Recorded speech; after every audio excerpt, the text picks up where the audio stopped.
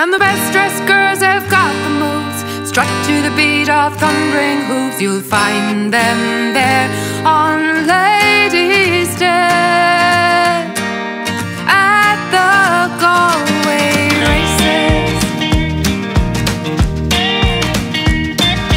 All roads lead to Ballybrit outside Galway town for a tribal religion on horsey hallowed ground.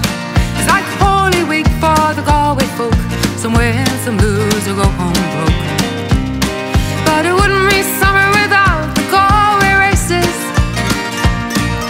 The locals Monday, Tuesday, and Wednesday the Galway plate. Thursday the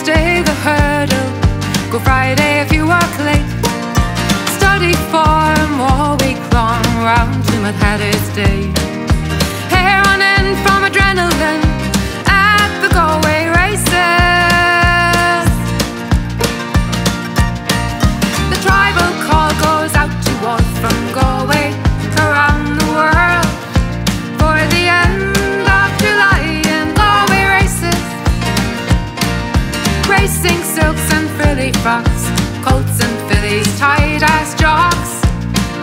150